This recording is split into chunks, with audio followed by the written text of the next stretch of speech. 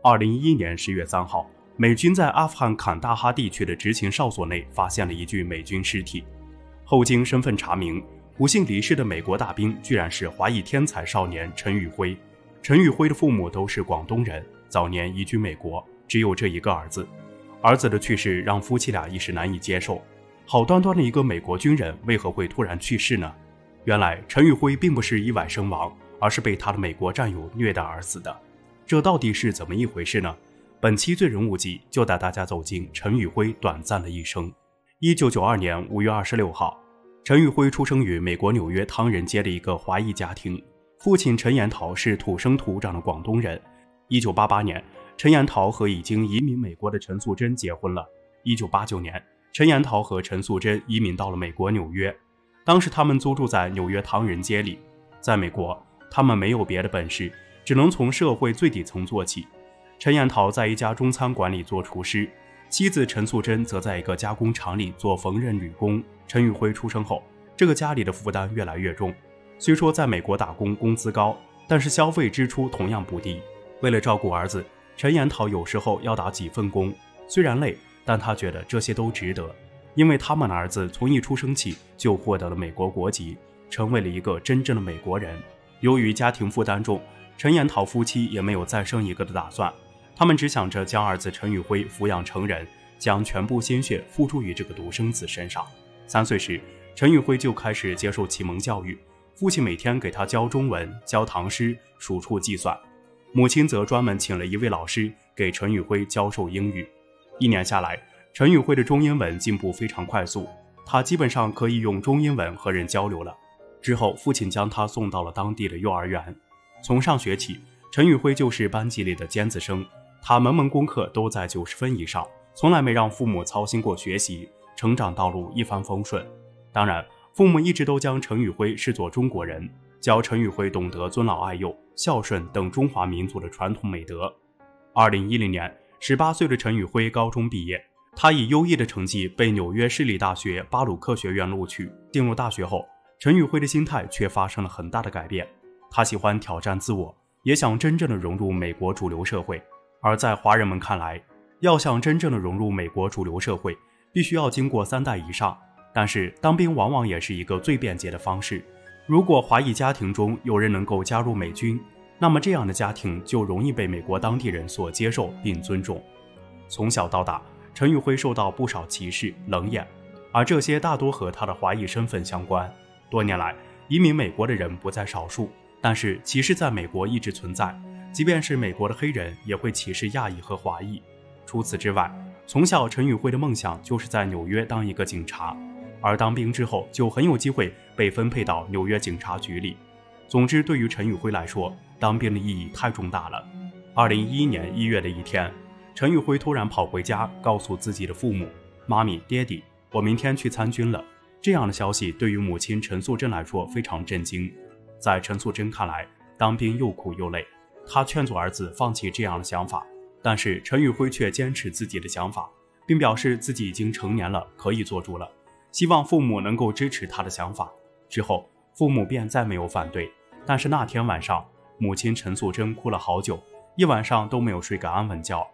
第二天，还在读大一的陈宇辉就收拾好行李离开了校园，正式加入了美国军队，成为了一名美国大兵。之后，他必须接受为期三个月的新兵训练，达标考核后才能编入美国军队。新兵训练对于陈宇辉来说挑战不小，从小他就没吃过什么苦，这种苦让他备受折磨，走路走到脚指甲都化脓了。为此，他只能拔了脚指甲，但即便这样，他从来没在和母亲通话的时候抱怨过，还称自己在军营里一切都好。最终，陈宇辉成功通过考核，成为了一名真正的美国军人。二零一一年四月，陈宇辉被调至阿拉斯加陆军基地，正式编入美国陆军第二十五步兵师第一旅二十一步兵团第三营。这期间，陈宇辉还有过一个周的探亲假，当时他回到了纽约的家中。当父母再次见到他的时候，发现眼前的儿子晒黑了不少，但是身体却强壮了很多。陈宇辉还不断向父母介绍自己能成为一个美国士兵，非常自豪。看到儿子越来越好，父母自然打心底里为他高兴。一个周后，母亲匆匆送走了儿子，谁知这竟是他们的最后一次见面。二零一一年八月，陈宇辉跟随美国陆军第二十五步兵师一起远赴中东阿富汗地区驻扎。到了阿富汗后，陈宇辉充满了信心，他也喜欢这种上前线的感觉。但是在军营里，陈宇辉却被孤立了起来。当时他所处的第三营里只有他一个亚裔，军营里的战友都不喜欢和他一起聊天说话。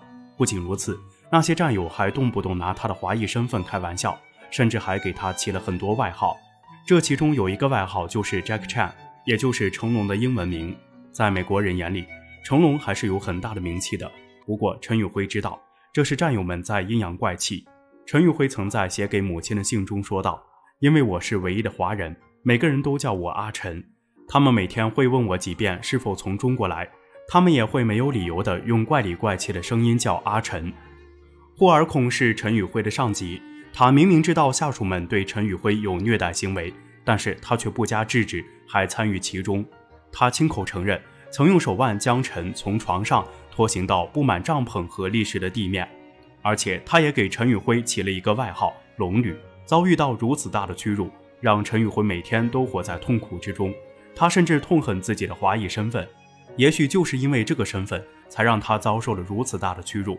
但在和母亲的多次通信中，陈宇辉并没有透露太多关于在军营受虐待的事情。二零一一年十月三号中午，在家中的陈彦桃夫妻突然收到了一条噩耗：原来他们的儿子陈宇辉曾在早上的时候被发现死在了阿富汗坎大哈地区的执勤哨所内。当时陈彦桃夫妻被告知陈宇辉系自杀身亡。陈素贞怎么也想不通，那个从小就乐观坚强的孩子为什么会选择自杀呢？因为陈宇辉曾在九月二十七号和母亲通过电话。当时陈宇辉还表示自己一切都好，还让母亲给他邮寄一些肉干。很显然，陈宇辉并没有自杀的计划。但根据陈宇辉的尸检报告来看，他属于饮弹自尽，排除了行为上的他杀，那就证明陈宇辉是在短时间内受到了某些刺激，才临时起意举枪自杀的。对于陈延桃来说，白发人送黑发人的痛苦难以言表，独子的去世更让他悲痛不已。在接受记者采访时，陈延桃曾说。养他到十八九岁，他突然离开了自己的父母，那种心情是没办法形容的。二零一一年十月七号，陈宇辉的遗体被运送到了美国，当时纽约州还为陈宇辉降半旗致哀，当地很多华人也特意走上街头送别陈宇辉。陈宇辉的突然身亡在华人圈子里引起了不小的反响，华人们都希望美国军方能够尽快调查出陈宇辉自杀的原因。在社会的全面关注下。陈宇辉的日记、社交网站和电子邮件被曝光了，里面记载了他的部分遭遇。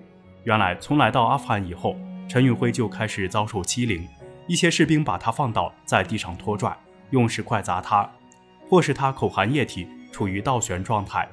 这些消息的曝光引起了美国华人社会的广泛关注，他们希望美国军方能够尽快立案调查，还陈宇辉一个公道。二零一二年七月二十七号。美国加州布拉格堡基地军事法庭举行了一场听证会。据陈宇辉的战友塞佩达所述，陈宇辉自杀的几个小时以前，他被上级长官霍尔空处罚，匍匐前进约五十米，而多名士官站在一旁大叫着陈宇辉的外号，并且还向陈宇辉扔石头。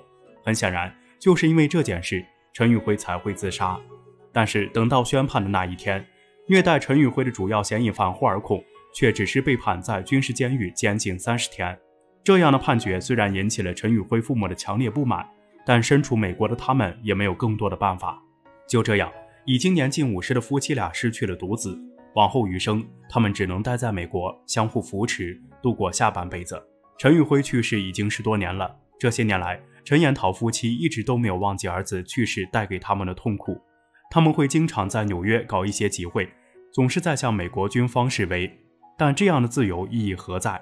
美国军方从来没有搭理过他们。